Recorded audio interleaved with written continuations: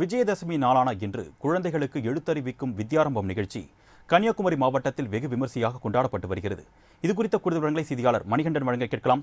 வணக்கம் மணிகண்டன். பொதுவாக அந்த வித்யாரம்பம் நிகழ்ச்சின்றது குழந்தைகள் பங்கு பெறக்கூடிய ஒரு நிகழ்ச்சி. பொதுமக்களுடைய கூட்டம் எந்த அளவிற்கு? பாதுகாப்பு ஏற்பாடுகள்லாம் முறையாக செய்யப்பட்டிருக்கா? வணக்கம் அருணேஷ். அதாவது விஜயதசமியான இன்று குழந்தைகளுக்கு ஏடு எழுதவும் நித்தியாரம்பம் வெகு விமர்சையாக கொண்டாடப்பட்டு வருகிறது. கோவில்களுக்கு வெள்ளி சனி ஞாயிறு மற்றும் அனைத்து நாட்களுக்கும் செல்லலாம் என அரசு அறிவித்ததை தொடர்ந்து வெள்ளிக்கிழமையான இன்று கோவில்களில் பக்தர்கள் சாமி தரிசனம் செய்து வருகின்றனர். பெரும்பாலான கோயில்களில் வித்தியாரம்பம் நிகழ்ச்சி நடைபெற்று வருகிறது. கோயில்களுக்கு போலீஸ் பாதுகாப்பு என்பது பெ- பெரிய அளவில் போடப்படவில்லை. காரணம் இன்று அனுமதி அனு அளிக்கப்பட்டுள்ளதால் அதை வந்து போலீசார் அதை கெடுபிடி கொடுக்கவில்லை. பொதுவாக சரஸ்வதி பூஜை நேற்று குமரி மாவட்டத்தில் சிறப்பாக கொண்டாடப்பட்டது. அதே நேரத்தில் நேற்று பெரும்பாலான கோயில்களில் விஜயதசமி நித்தியாரம்பம் நிகழ்ச்சி நடைபெற்றுள்ளது. கொரோனா தடுப்பு நடவடிக்கையாக வெள்ளி சனி ஞாயிறு ஆகிய தினங்களில் கோயில்களுக்கு செல்ல தடை இருந்ததை தொடர்ந்து நேற்றே குழந்தைகளுக்கு ஏடு எழுதும் நிகழ்வு நடைபெற்றது. அதன் பின்பு தமிழக முதல்வர் ஸ்டாலின் அவர்கள் வெள்ளி சனி ஞாயிற்றுக்கிழமைகளில் கோயில்களை திறக்கலாம் என அறிவித்திருந்தார். அதனால் இன்று கோயில்களில் பக்தர்கள் வரத் தொடங்கியுள்ளனர்.